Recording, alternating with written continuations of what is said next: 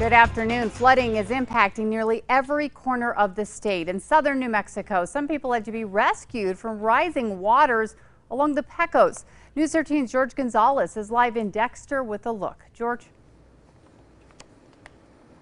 Well, yeah, Kim, this road and others in the area have been blocked off since yesterday, warning people of the dangers. As you can see, how bad the conditions have gotten with crews warning people to stay away, but some people just aren't paying attention some people that were actually, uh, I guess, trying to vacate their house or get out of it. it their house was completely surrounded and full of water.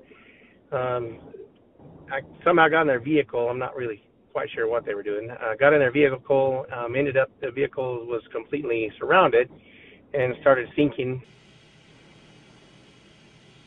Dexter Fire Chief Justin Powell says the rescue took about 25 minutes, but it was difficult for crews to actually reach the three women who were trapped on top of their vehicles. Now, multiple agencies had to lend a hand, including Dexter, Roswell, and East Grand Plains fire crews.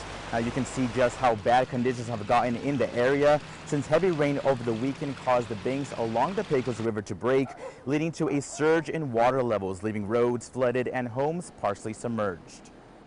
But it is a lot of water. I, I cannot express that. It it is a ton of water, and I don't think people really grasp that until they see it a, a mile wide, or you know where part of this is running right now is is a mile or mile and a half from the river itself. There's water over here.